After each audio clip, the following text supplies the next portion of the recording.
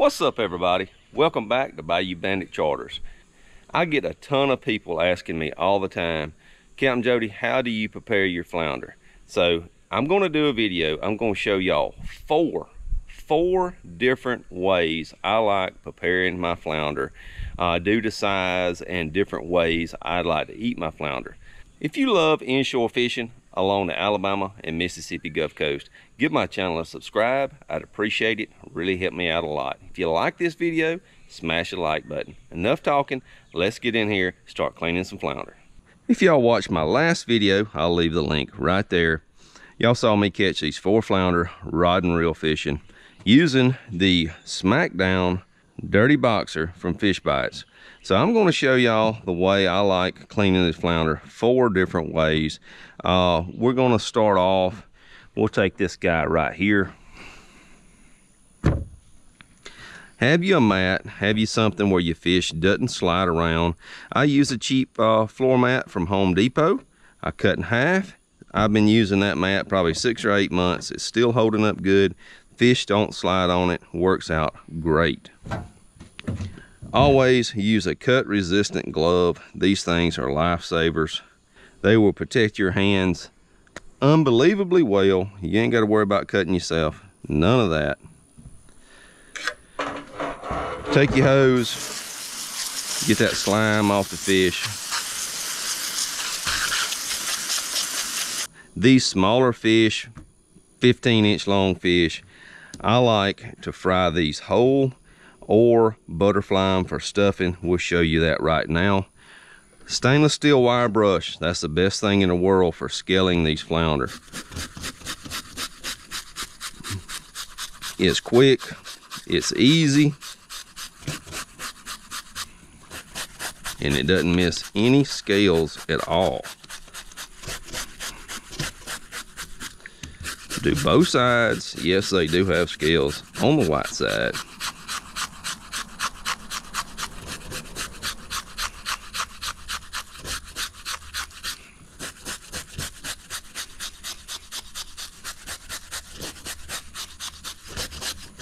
All right, once we have the flounder completely scaled,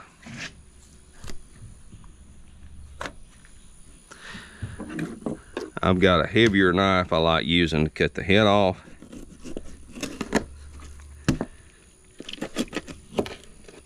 You can take that head and give it a twist and the head will pop right off.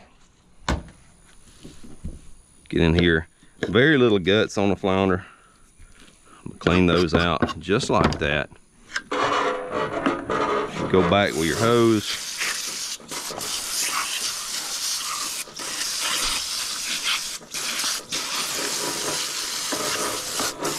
Clean out the gut cavity. And this is simple, simple way to do it. I'll be using my SORD seven inch flexi. Really love this knife. Very corrosion resistant knife. Uh, my knives never see fresh water. They stay on the boat. And I clean a ton of fish with these knives.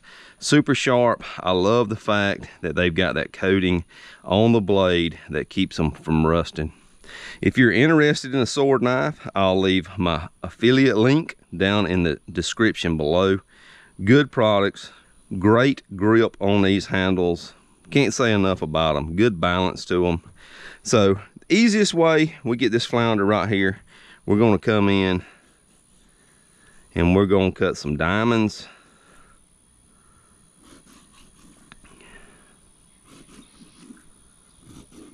Just like that.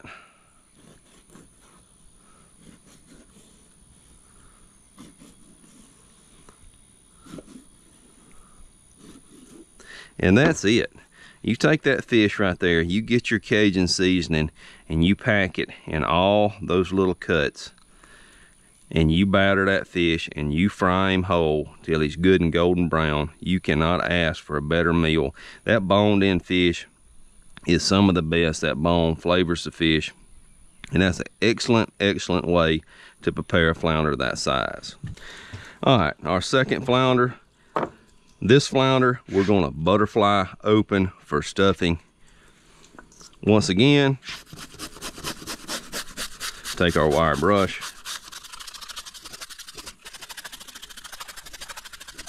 Get those scales off real quick.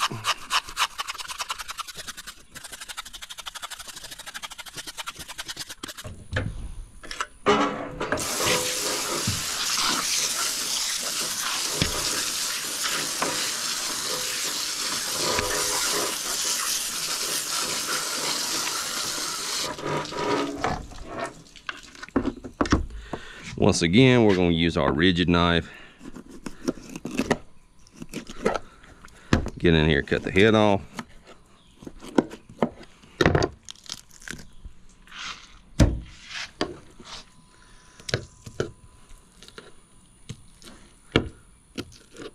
Clean the guts out.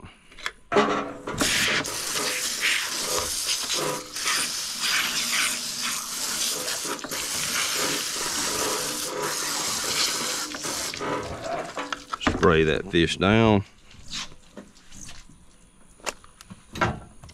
Lay him up on our mat. We'll get that SORD knife. We're gonna come right down the backbone.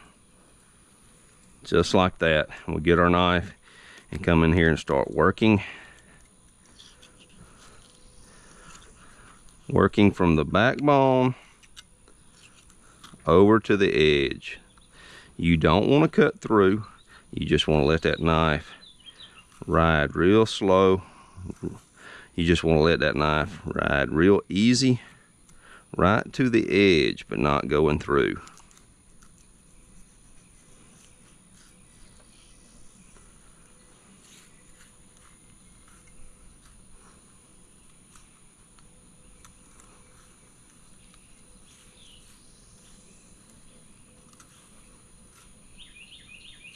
Just like that.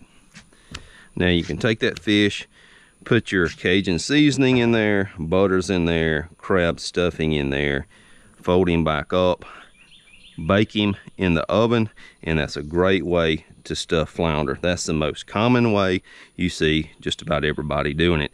In a minute on flounder number four, I'm gonna show you the ultimate way to do it. If y'all have already seen some of my previous videos, you know, but I'm gonna show y'all again and show the people that haven't seen it yet. So that's flounder number two. All right, this is flounder number three. We are gonna fillet this flounder, so no need to worry about scaling him. We're gonna start with the white side first. We're gonna go in with our SORD seven inch flexi. Make our cut. We're gonna turn this knife and we're gonna ride it right down the backbone and fillet this side off.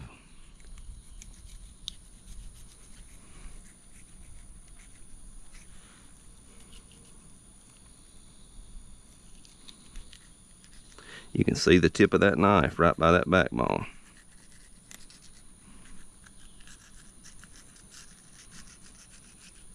We get right there, we're gonna go all the way through and out to the tail. Now I'm doing this a lot slower than I normally do where I can show y'all, y'all can see real good. Jump over that backbone, make your cut, invert your knife, boom, like butter. Clean, no meat wasted. Flipping back over. Same thing on the other side. Make your cut. Invert your knife.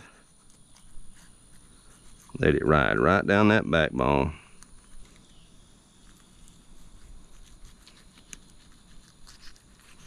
Get close to the tail, cut through, and all the way out.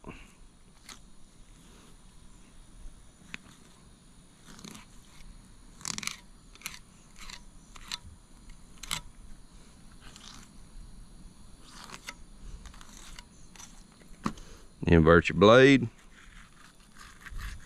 Draw that knife. Boom. We got two nice fillets. Got a little bone right there we got to trim off.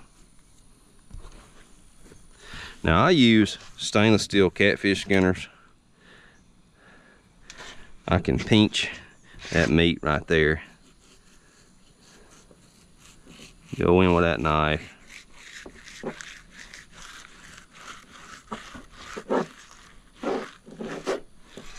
no meat wasted at all. Clean, clean. Take that fish, cut it in half. A lot of people go down each side and there's four fillets and then they got to skin four fish. If you do the whole top and bottom at one time, it saves you half the steps.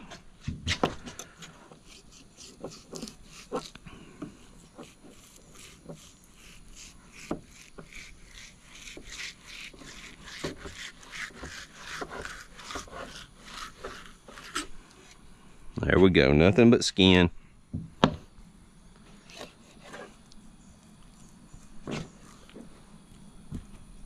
All right, so we got four nice flounder fillets right there. And last but not least, the ultimate way to stuff flounder.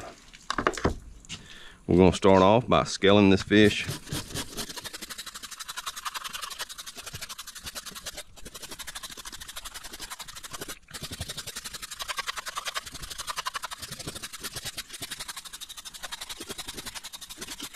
Now we're going to cut the head off.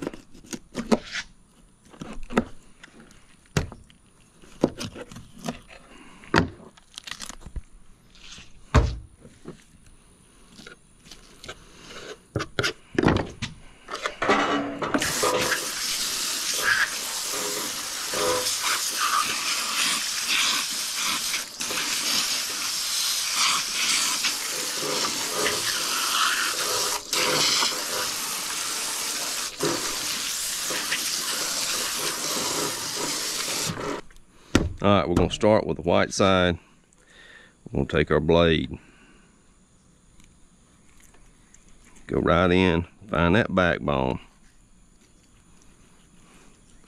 We wanna work the edge of that knife right to the edge of the fish without going through. We got the tip of our knife right there at the end of that fish. And we're going to invert our knife. Same on the other side. We'll go right to the edge. Work our knife blade all the way to that tail. Right to the edge without going through. Invert. Same thing.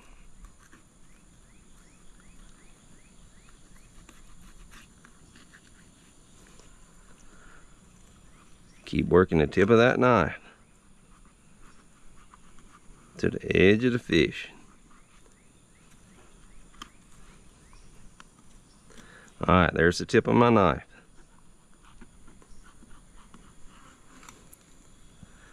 And we're going to invert.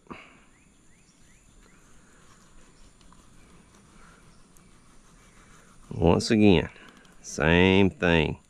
We're making a big pocket and we're fixing to pull that whole backbone out of this fish.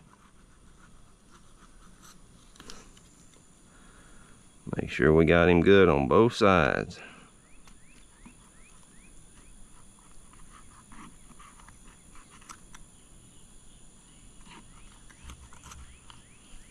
There we go. Now you can use kitchen scissors, whatever you want to use. Come in here cut in as far as you can.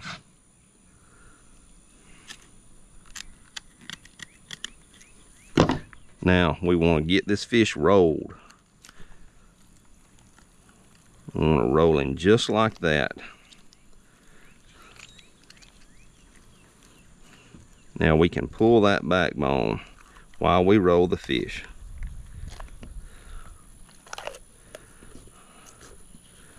All the way down to the very base of the tail cut it off and we've got a pocket. Now we're going to come in here and trim all these bones just like that. We get in here with our scissors our snips whatever we have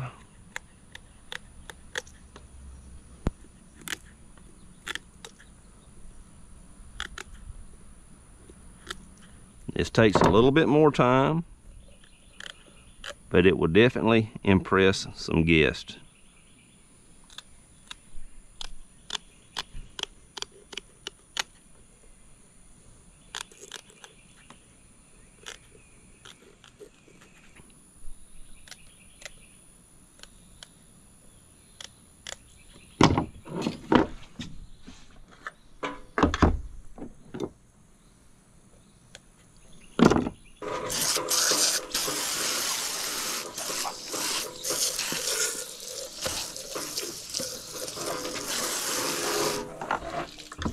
You can see, that's our backbone out of that fish.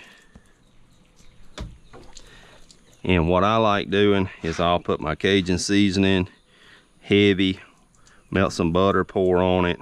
And then all you gotta do is reach in there and grab that tail, invert that whole flounder,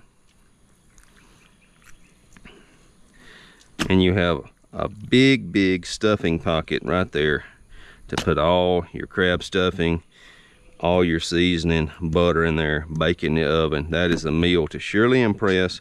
No bones at all. You can eat that whole fish. All right, there you go. That's the four ways I like preparing my fish. Once again, we've got the frying whole with the diamonds cut out. We've got the butterflied for stuffing. We've got the filet, and then we've got the ultimate stuffed pocket flounder.